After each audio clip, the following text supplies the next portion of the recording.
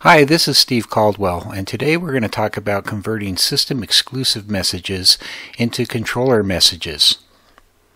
One might ask, why would you want to do this? Well, in this particular situation, a user had a controller that only put out system exclusive messages, and the software would only take the controller type messages. So we had to create a translator to convert those messages from one type to another, as shown in this illustration. As you can see here, here are the system exclusive messages the controller sends and what they are. In this particular example, what we're going to do is take this second one or the preset change and convert that to a controller message to go to the Reason software.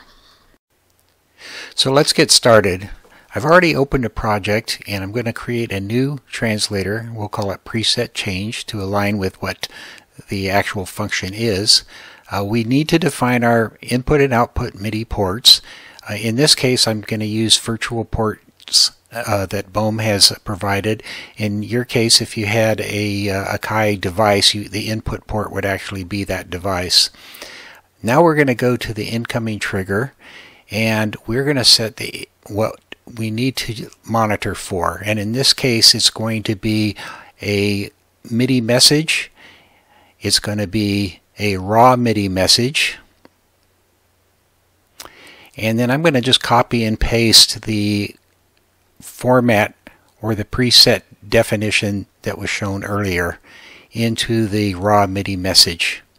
Now I've replaced XX in the previous example with PP because that's how Bome MIDI translator recognizes uh, local variables. So now we have the incoming message. That's the pattern we're going to look for. And the next thing we need to do is decide what the output pattern is going to be. In this case, it's going to be a MIDI message. We know it's going to be a controller change. Uh, we'll set the controller for channel 1 for this example. We'll set controller 1 for this example as well. Now the value, we'll take the value of the variable that we set pp in the incoming message and plug that in for the outgoing message. And when we look at this, everything should show that it translates correctly.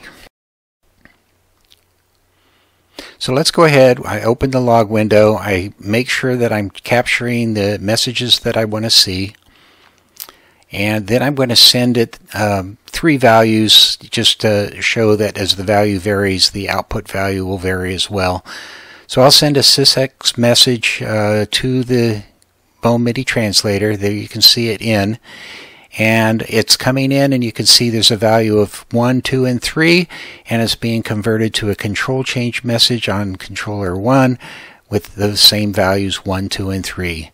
That concludes our tutorial for today and I appreciate you all watching and please if you have any questions uh, contact us at www.bome.com. Thank you.